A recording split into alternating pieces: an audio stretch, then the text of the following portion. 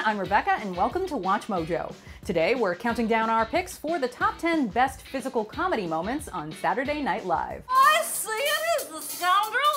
He's the troublemaker right here. Time to turn this doodad off all. Turn it, baby! I know, I know, shut up! I can't stop! It's Sally O'Malley. I'm proud to say that I'm 50 years old. I'm not one of those gals who's afraid to tell her real age. For this list, we're looking at SNL moments, characters, and sketches where some, if not all, of the humor is derived from the physicality of the performers. And live from down below, it's your comments, so please feel free to leave one. All right, let's get into it. If you like what you're hearing, be sure to check out the full song at the link below.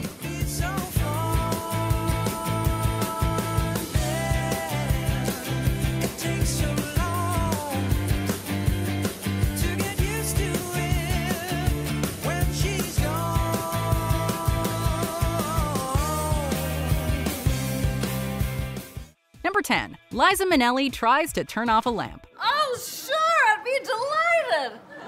Just let me turn off some of these lamps.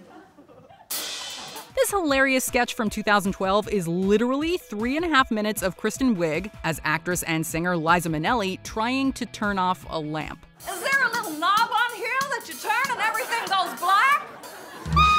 There's really no complicated joke here, and there doesn't need to be. The laughs come entirely from Wiig's awesome, exaggerated theatricality. The kicks, the jazz hands, the Fosse neck, and this wasn't the first time we saw Wiig do this either.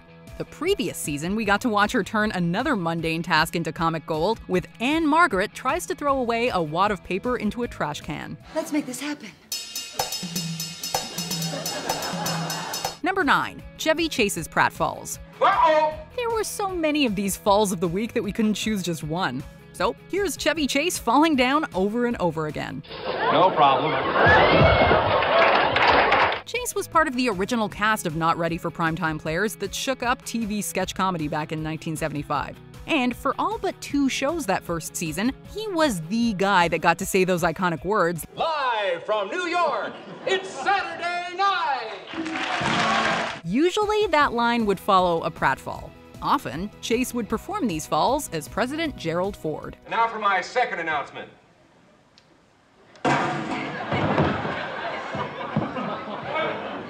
Live from New York, it's Saturday night! Number 8. Girlfriend's Game Night. Horace's sons are suing me again. Horace, where are you going? To the Chicago. Oh, Horace! Great physical comedy doesn't always have to be big. Sometimes comedy can come from simple movements. Is he still laughing, or is maybe something wrong?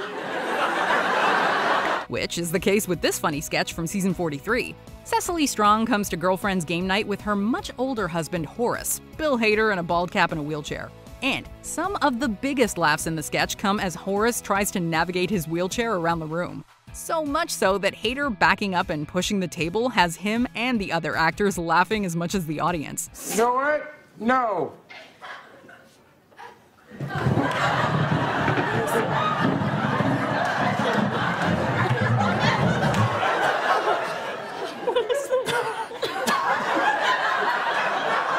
Of course, this isn't the first time we've seen the brilliant Bill Hader break. And if you liked Russell Crowe in Les Miserables, you might want to hear Jasper the Gorilla pass a kidney stone. Number 7. Wild and Crazy Guys. Ah, Georg, my brother, there will certainly be a lot of swinging in our bachelor pad tonight. Decades before the head bobbing Butabi brothers appeared on Saturday Night Live, there were two Czech bachelors hunting foxes in New York City bars and clubs. The Festrunk brothers, played by Dan Aykroyd and Steve Martin, refer to themselves as two wild and crazy guys. There's no other pair of Czech brothers who cruise and swing so successfully in tight slacks. we are two wild and crazy guys. And all their moving and shaking and bobbing around perfectly accentuated their thick accents and wannabe playboy attitudes. Few recurring characters have reached the popularity that these two enjoyed. So much so that Martin and Aykroyd brought the duo back 35 years after they made their first appearance on the show in a dating game sketch. So get ready to take a hike because we are two wild and crazy guys. Number 6. Synchronized swimming. Oh, it's it's not going to be easy. My brother and I know it's not going to be easy. Harry Shearer is probably best known for his many voices on The Simpsons, including Mr. Burns. Excellent. Christopher Guest wrote and acted in such films as This Is Spinal Tap and Best in Show, which he also directed. 3,000 dogs competing for Best in Show. And Martin Short is one of the great comedic performers of his generation. Although the judges don't count it, deck work is a very important part of Lawrence's preparation for the water. In 1984, these three greats came together in one of the best SNL digital film shorts of all time about two unathletic brothers trying to make it as male synchronized swimmers. The whole thing is hysterical, but the routines in the pool are classic. Point to any comedy fan who was old enough to be watching SNL in 1984 and say, I know you, I know you. They'll get the joke. You're just pointing at him. Hey, you. I know you. I know you. Number 5. Mary Katherine Gallagher wants to join a gang. Molly Shannon certainly loves to kick, stretch, and kick. But she didn't only break out those sweet moves as 50 year old Sally O'Malley. So I put on my red pants because I like to dance. One of her other popular recurring characters during her time on SNL was the made for TV movie quoting Catholic schoolgirl Mary Katherine Gallagher. Maybe, maybe a little demonstration would help change your mind, huh? Huh? And in this sketch from season 24, Mary kicks, stretches, kicks, and throws herself against bathroom stalls. There sure is no denying the physical comedy here. The one popular move that she didn't pull in this one that she did in most Mary sketches was the old smelling your hands after putting them in your armpits move. Some, sometimes when I get nervous, Yes. I stick my hands under my arms and then I smell my fingers like that. Number 4. Chippendales. I know you've been put through a long, long audition, and it's been hard. But I think that in itself is a testament to how good both of you are and just how difficult our choice is. The Chippendale sketch from season 16 has become one of the most popular in the history of the show, and is often credited as the moment that launched Chris Farley to stardom.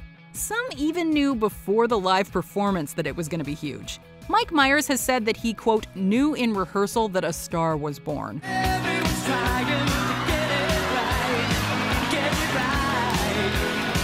Farley would go on to make a career out of his willingness and ability to completely commit to big physical comedy like few others ever have. That included the rest of his time on SNL and his work in films such as Tommy Boy and Beverly Hills Ninja. I may not be the best ninja. I may not be one with the universe. But I will tell you this. No one messes with my brother! Everybody was Number 3. Rebecca LaRue, the flirting expert. Wow, uh, it looks like, you know, you've started flirting already. No, I'm not. I'm just listening to you. This might be one of the least well known sketches and characters on the list, but it's also one of the funniest. Kristen Wiig has had many memorable moments on Weekend Update. I heard some people liked it. Not me. But one of her best physical comedy roles might just be as flirting expert Rebecca LaRue. In 2011, Wiig brought LaRue to the Weekend Update desk to give anchor Seth Meyers a lesson in flirting. I'm sorry, Re- Rebecca, do you want to explain what you're doing right now? just like body language stuff, you know, that people can do.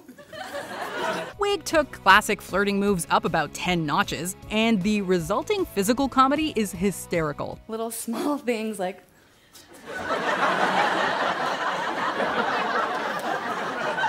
Rebecca, Rebecca. It culminates in Wiig just spreading her legs right at Meyers. His shock is genuine because it was totally improvised in that moment by Wiig. Rebecca, Rebecca, what are you doing? Number 2, the Roxbury Guys. The Butabi brothers, better known as the Roxbury Guys, were characters that relied completely on physical comedy, and people loved it.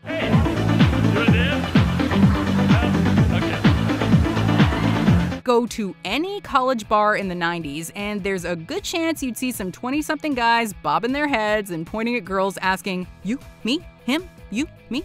These pickup artist wannabes, played by Will Ferrell and Chris Kattan, were the wild and crazy guys of the 90s. Hey, who are the new guys?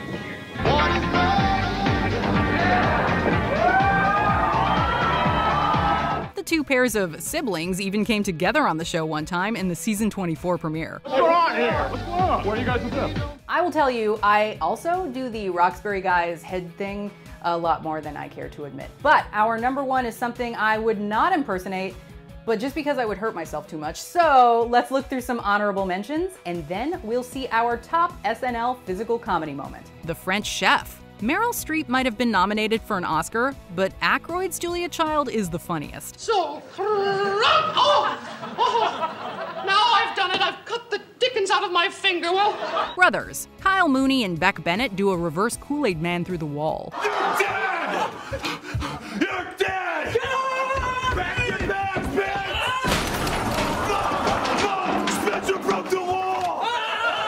Spartan cheerleaders. The funniest parts of these Will Ferrell and Cheri Oteri sketches were the cheers. Hit it.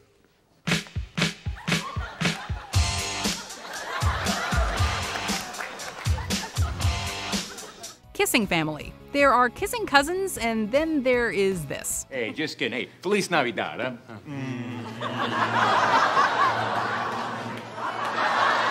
Taste test. Melissa McCarthy pushes the comedy to an explosive conclusion. Not me. I could eat a whole bottle.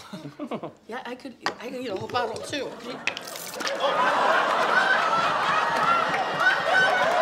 Before we continue, be sure to subscribe to our channel and ring the bell to get notified about our latest videos. You have the option to be notified for occasional videos or all of them. If you're on your phone, make sure you go into your settings and switch on notifications.